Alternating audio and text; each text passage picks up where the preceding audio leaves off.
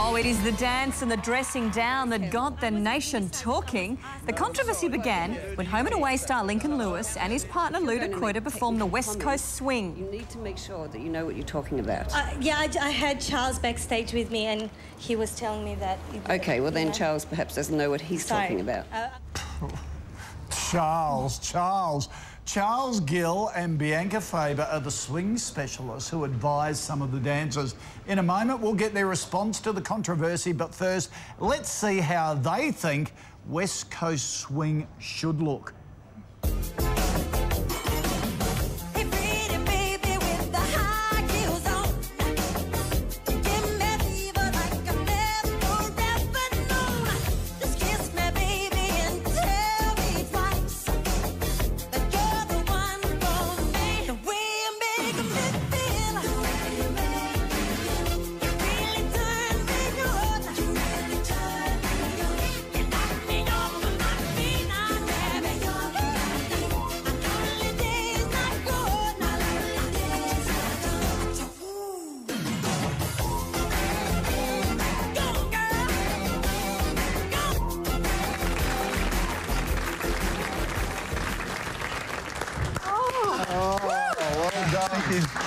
Well, Charles, Charles, Charles, according to Helen, you've been a very naughty boy. Apparently so. Yes. Um, did Luda have every right to question the judges? Um, yeah, I think she did because there was a little bit of confusion with what um, we taught them.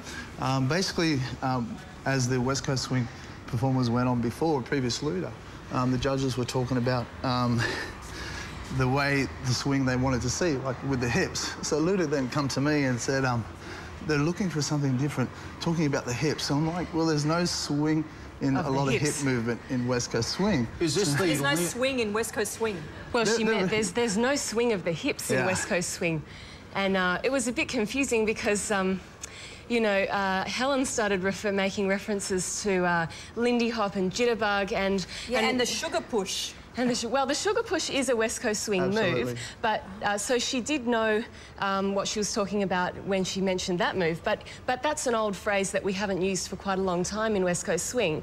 So that perhaps indicates mm. that maybe the, the judge's knowledge was a little bit outdated about West Coast swing in yeah. today's world. Oh, we didn't say that. No, no, that was... So, Charles... I, I don't know. So, Charles, are you saying Helen's out of step with West Coast swing? Absolutely. I mean, the critique side of what they said to the to the dancers was correct.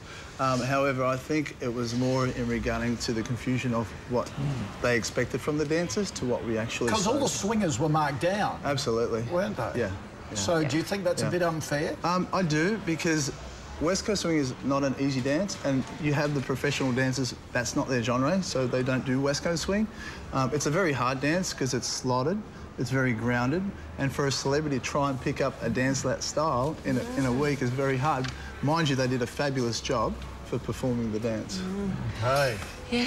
Thank All you, right. Charles. Well, I'm really confused now. No, you're a very brave man yes. to take on Helen. I you. Guys, you wanted to know if you wanted a mask, but obviously uh, you're really, okay no. that you're out there. All right, well, yes. thank you very much for thank joining you. us this morning, and thank you for dancing. Thank you. The West Coast Swing, it was gorgeous.